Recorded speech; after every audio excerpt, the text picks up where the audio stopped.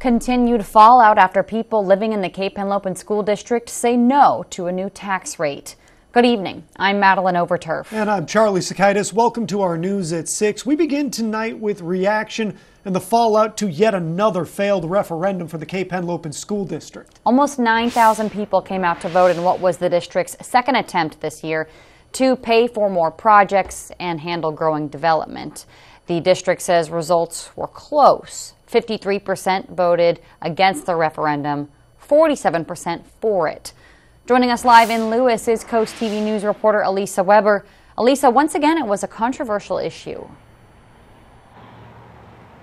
Maddie and Charlie, people I spoke with today, say that they were upset to see the results, especially because it was such a close call. Once again, the Cape Henlopen School District was not able to successfully convince taxpayers to vote in favor of a new tax rate. Tom Iarossi, who lives in Lewes, says he is very disappointed to see the referendum fall through. Uh, I'm a huge believer in public education. I think that uh, it's public education at all levels is an investment in our society. We all benefit from having an educated populace.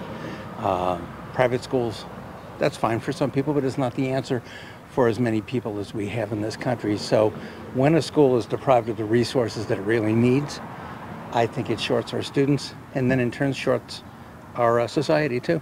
Superintendent Bob Fulton said leading up to the referendum that 90% of the money generated would be for safety and security expenses, as well as to pay school staff salaries and energy costs.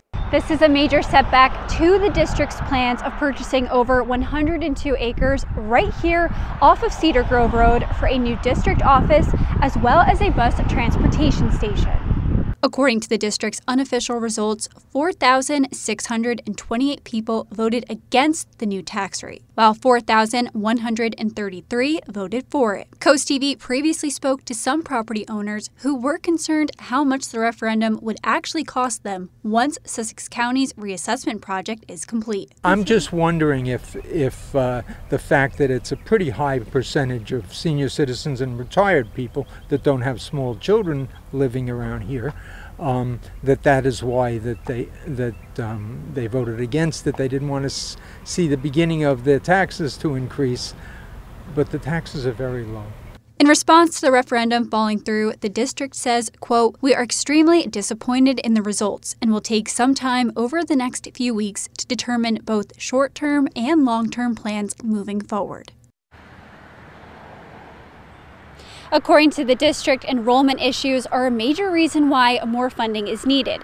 Enrollment has grown from over 4,000 students in 2000 to almost over 7,000 students as of spring 2024.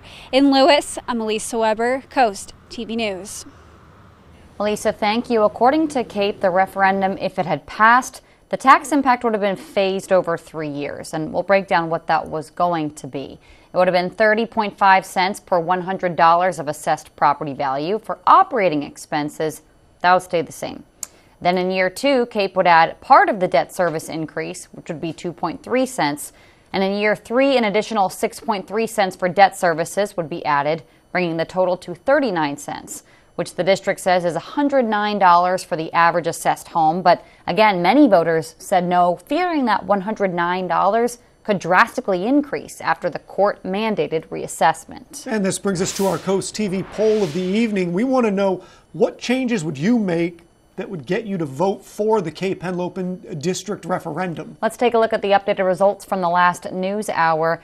A large majority are still saying they want to wait until that reassessment is over, though no district office and a lower tax are also getting a decent chunk of the vote there. And I remember that the number that they have quoted is around $23,000 is the average home in the way that they're currently evaluated. Oh, currently, right. So when that changes, it is going to be a big shift for people.